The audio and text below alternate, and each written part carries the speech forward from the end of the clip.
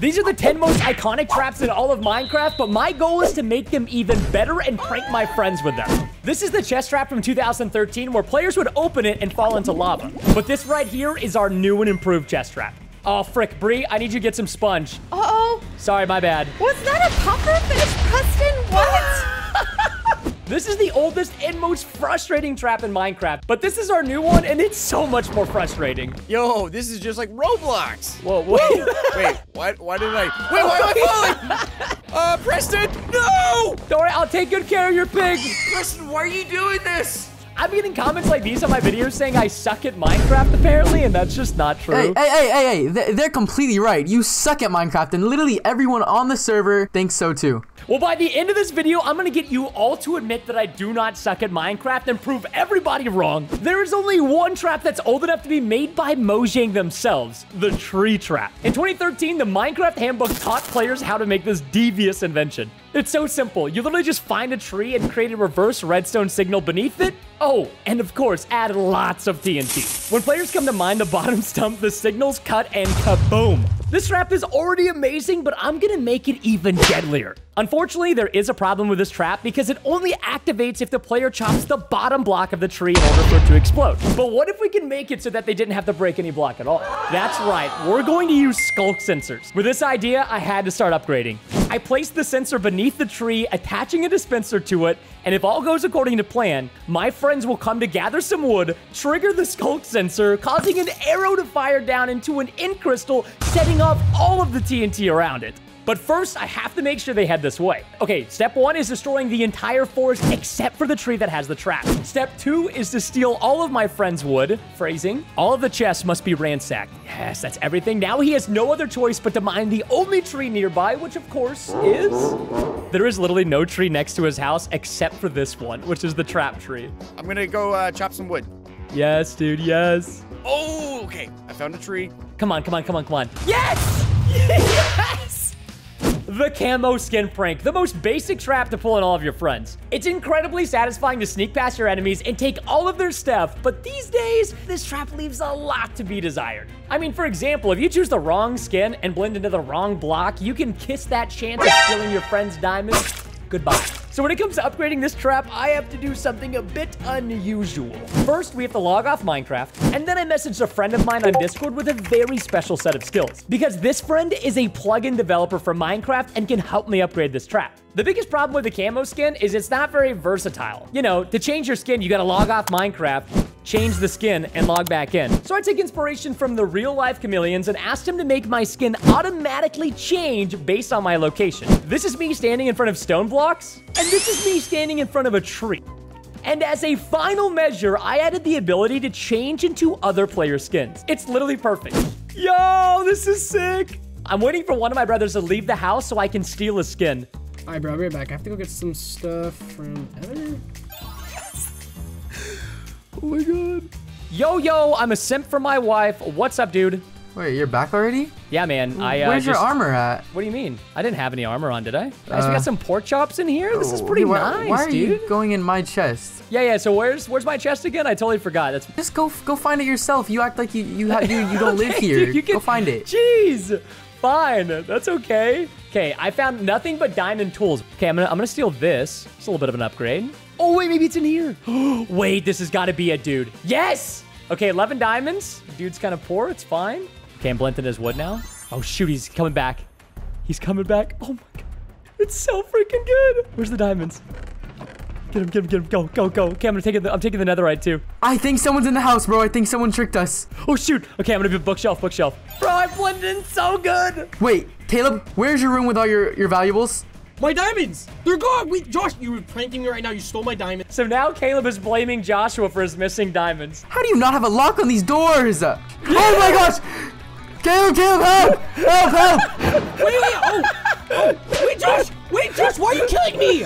This is possibly my favorite trap, the TNT cannon. If you love TNT cannons as much as I do, like this video, they're so good. You can use them on a house, a village, anything at a distance. It's perfect, right? Wrong. TNT cannons still have a major issue, but we can fix this by giving it the upgrade. The first issue is that TNT cannons typically only aim at one spot, so we need to make this one have a massive spread that can cover multiple targets at once. Sure, it can destroy a house, but what about a pillager tower or even an entire woodland mansion? See, now that's what I'm talking about. So now that we know exactly what we want, it's time to start building. I researched the most destructive ways to design a TNT cannon and started to work on my masterpiece. And as I was getting to the end, I thought it needed a little something more. So I decided to build an awesome dragon head to make it stand out. I'm sure you're all flaming me in the comments thinking, why did you build this hidden TNT trap as a massive floating dragon head? Isn't that gonna give things away? But that is precisely what I want you to think. In fact, I intentionally built the dragon head to be facing this way towards my house. And that's because the barrel of the TNT cannon isn't in the dragon's mouth, but actually in the back of its head. Check it out, Chase. Wait, guys, it looks like a big ender dragon head. Who built this? All right, this is pretty good. He's taking the bait? Okay, I'm gonna check it out. Yeah, that's right, buddy. Keep going. Consult us before you do that. I only push Preston's buttons. No one else's. That's true. What if they are Preston's buttons? That's a good point, and I didn't think about it. He's at the top. Okay, I'm up here, guys. Don't worry. Everything looks all right. What Chase is seeing right now is the fake sign that I left for him, hoping he would press the button. Do not press not yet finished will explode. What? He thinks it's the self-destruct button, but it's actually the ignite TNT button. Guys, just trust me on this. Just trust me. All right. I don't think it's working. And there you have it. Wait, what's happening? Oh my gosh! No! Chase! Turn it off, Chase! No! I died! Wait, guys, what the heck? Take cover. Okay, I'm not gonna go and say anything, but there's this giant sign that says do not press, and Chase definitely pressed it. Whoa, whoa, whoa, whoa, whoa, guys. Come on. I don't know. Chase, you don't walk up to a TNT cannon and just flick a lever that says do not flick. Guys, I know this doesn't look good on my end, but I, I promise. Yeah, it really does not look good, Chase, huh? Preston's been pranking us this whole time, but he didn't destroy our entire base. Chase, get out of here. This was perfect. I was trying to build their trust by framing Chase, and now I don't get to build just one trap in their village, but two. Starting with the classic, the bed trap. And if you haven't heard of this trap, I don't blame you. This trap is as ancient as debris itself, but it's very effective. Naturally, when your friends get tired of your traps and they go to sleep, you are waiting with a lever that springs out below the bed and blows them up. But this is a little boring. So to upgrade this trap, I started by adding a complex contraption to automatically blow up a small piece of TNT below the player. But this is just a mere distraction and is only fulfilled by my next trap. The lava trap. Players are going to be rattled by the explosion from the bed trap, so naturally they're going to go outside to make sure everything's okay. And when that happens, they will step on the pressure plate I am laying down here and activate the lava trap. However, this is still yet just another distraction in my grand plan. Because when they make it through the lava outside the house, it'll be too late. Oh, what the heck? Josh, did you hear that? Phase one, they heard the bed explode. Guys, there was literally an explosion in my house. Like, what the heck happened? Why is there lava? Phase two, the lava spawns. Caleb, what's happening? Guys, it's pouring all over the house. You can just end all of this right now and just tell me I don't suck at Minecraft anymore. We can make all this go away. Preston, we'll never admit that you don't suck because it's just not true. I think it's time for phase three. Oh no! I don't even want to do this. Ah! You know, they say pride goes before the fall, guys. It works for lava too. The sand trap. It's one of the most common traps in Minecraft, and for an amazing reason. You literally place one block, and there she blows. Every single block falls. It's so good. And when I was thinking about how to upgrade this one, I think it's quantity over quality all day. So in that case, I ran to the desert and started to work. I dug and I dug so much, I broke multiple shovels. I placed about a thousand signs and sand directly on top of them. And just in case this doesn't kill all of them, I placed a second layer of danger below to truly make this worthy of being called an upgraded trap. Look at me, you idiots. Whoa! Yeah, that's right. You know what I called you? Tell me I'm good at the game and I don't suck. No, we're not saying that. Oh, really, really? It's come to this, huh? Preston, I am speechless. Oh, nice pearl, Chase. Maybe you should get hit by this. Come back here, Preston. Oh! Whoa, wait, guys, it's falling! No! if I were you, I would have saved that Come at pearl. me. I'm tired of you picking on us. Wait, what's that button? Oh my gosh, that was so satisfying. The way the sand fell. Wait, did none of you survive?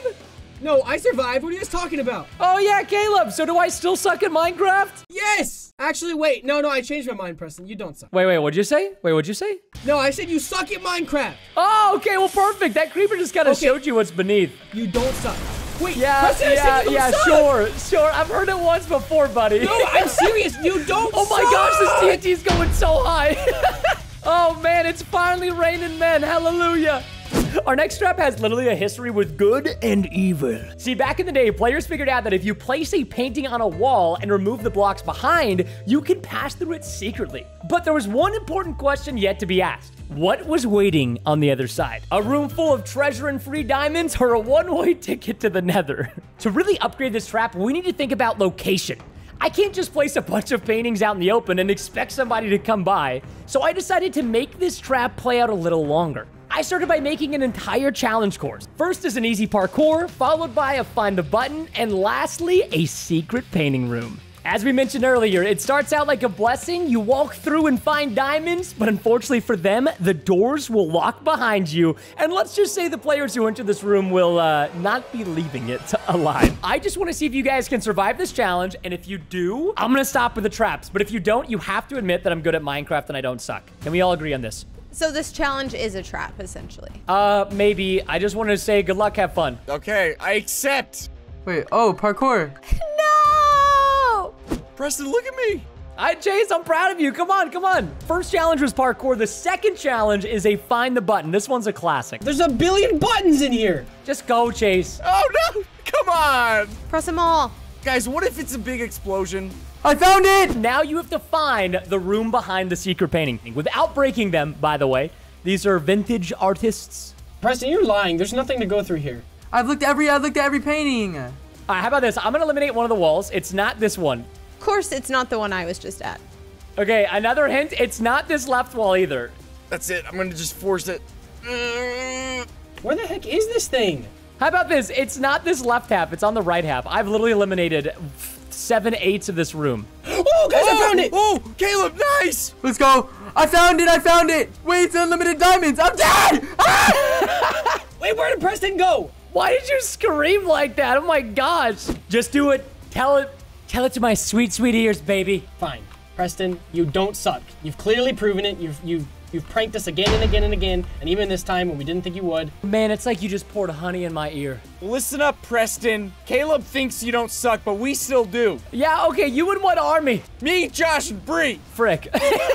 Naturally, this is my least favorite trap because I'm made of lava, and this is the water trap. Doesn't matter if a player's wearing diamond or netherite, suffocation deals the same damage. And I mean, come on, it's so annoying being stuck where you can't break blocks quickly. But what if I told you that my idea to make this trap better is to make it worse? You probably think I'm sounding crazy right now, but just hang on with me for a moment. Trapping a player in water and suffocate them is already deadly, so how do you upgrade it? It's obviously not fun to die because you lose all of your items, but you can just respawn and go collect them again. So my plan is to trap somebody in a water prison that will make them go insane. So first, I made a water elevator entrance, and then I made the main prison above out of obsidian. Did you know that obsidian takes four entire minutes to break with just a normal fist? And while floating in water, it takes even longer than that.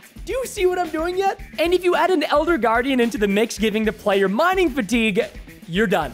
And to make it so they can't drown from suffocation, I'm gonna give them a beacon that gives them water breathing. After adding this all together, guess in the comments how long it would take to break one obsidian block. Oh, wait. It would take almost an entire month to break this block. 22 days. It's just so beautiful. Wait, I see his name. I see his name tag. No, you don't. I see him. He went in there. He went in there. Wait, he's inside? Guys, I don't know if we should go in there. Ooh, it's an elevator. Wow. You going down? Whoa, whoa, whoa, what is this? What, we're not fish. It's so pretty. Wait, No, Bree, we can't breathe.